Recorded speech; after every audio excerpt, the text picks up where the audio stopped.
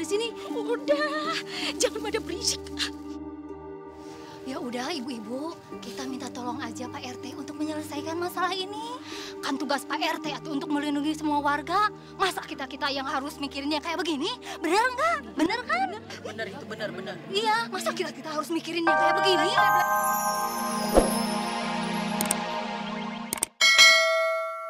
Aduh, kalau hujan mulu begini, wah kampung kita becek ke mana-mana. Tapi nggak apa-apa, namanya berkah juga.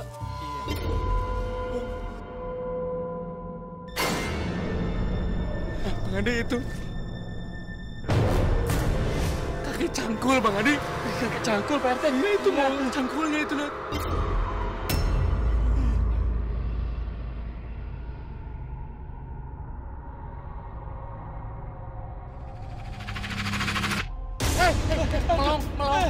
Sini. Melong, melong, kita ngelihat ke orang.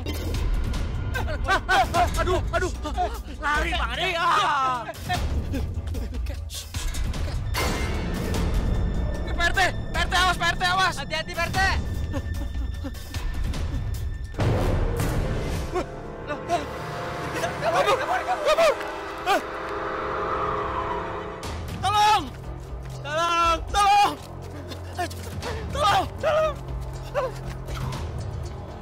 Serem juga ya aki-aki ngamuk. Aduh, Aduh, aduh, aduh. Gimana nih, gimana nih?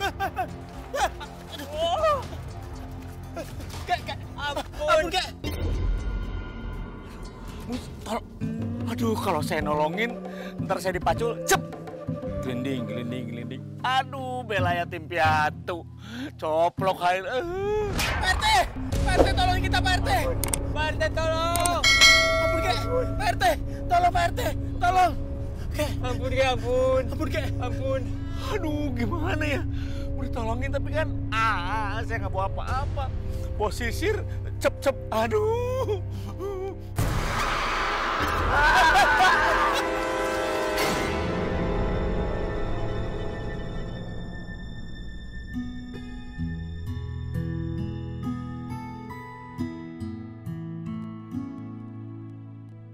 Kamu ditanggung sama kakek. Iya, aku juga jadi takut di rumah. Kasihan juga ya PRT. Aku jadi pengen bantuin. Gimana caranya kali? Hmm, Nah, itu dia yang aku bingung. Jangan. Kalian nggak usah bantuin. Emangnya kenapa? Kok dibantuin gak mau?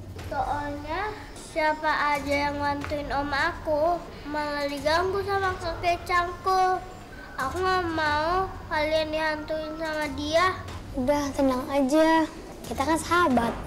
Masalah kamu, masalahku juga.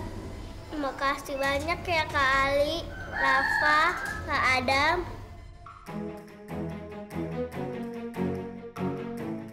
Mendingan kita makan mie ayam aja yuk. Kak Adam mikir pikirannya makan mulu. Lapar ya.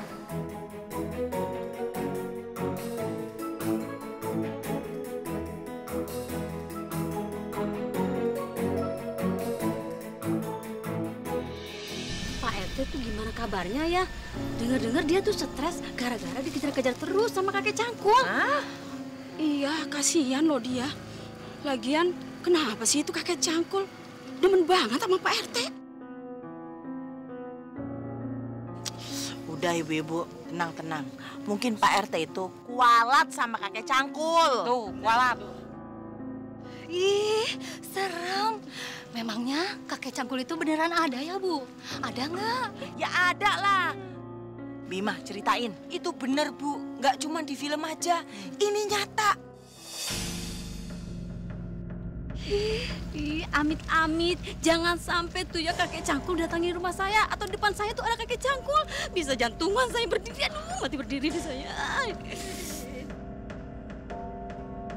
Ngeri banget. No kan? Aduh, bulu kuduku pada berdiri. Emang gimana sih Bima?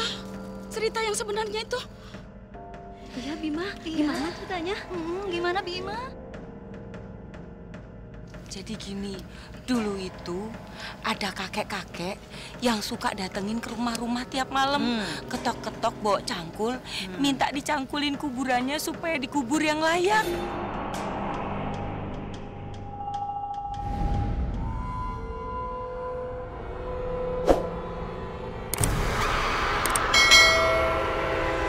Kalikan kuburanku. Cari yang lain aja, kek. Saya sibuk. Besok saya mau keluar kota, kek. Kurang aja. Tolong! Tolong! Tolong! Kalikan kuburanku. Begitulah ceritanya ibu-ibu. Setelah rumah itu diporak-porandakan sama si kakek, si kakek pindah ke rumah lain untuk meneror warga yang di sana.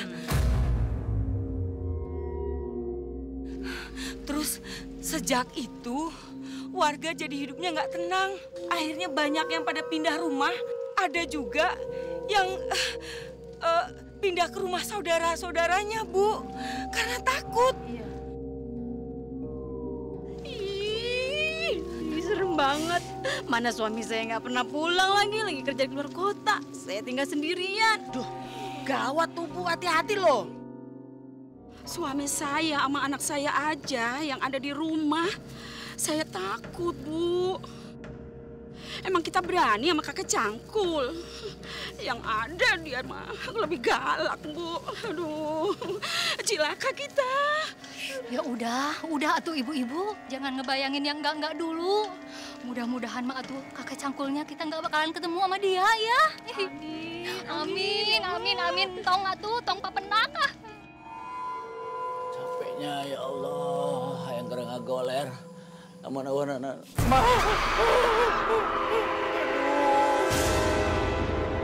Atulah, kek.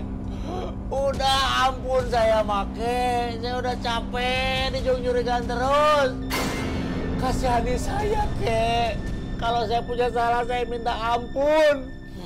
Saya tuh udah gak punya siapa-siapa lagi. Rumah kontrak anak satu-satunya. Itu kayak lagi keluar kota. Aduh, ke ampun. Tur saya tuh nggak tuh bisa nanawan deh. Gimana caranya so kasih tahu saya supaya kakek nggak gangguin saya lagi, nggak jungjurikan saya lagi. Hik, hik, hik, hik. Udah capek atuh. Aduh, diacungkan eta cangkul ka aing eta ka aing.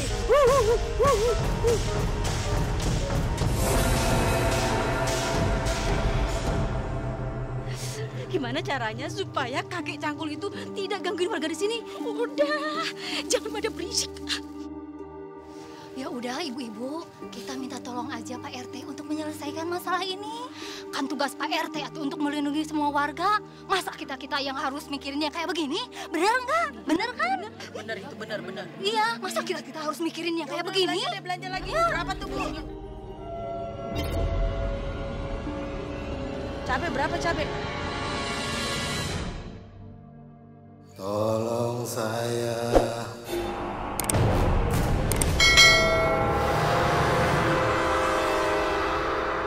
Tolong saya.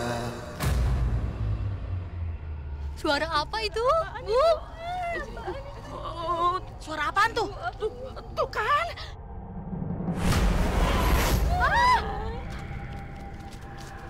Suara apa itu? Bima, Bima, Bima, Bima. Kakek cangkul, Bima.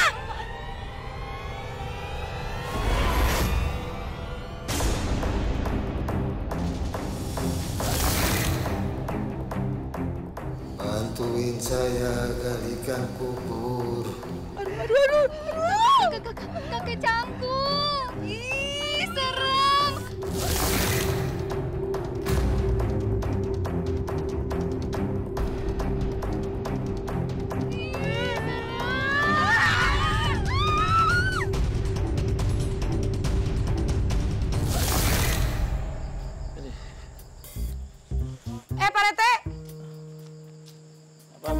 Apa Pak Rete?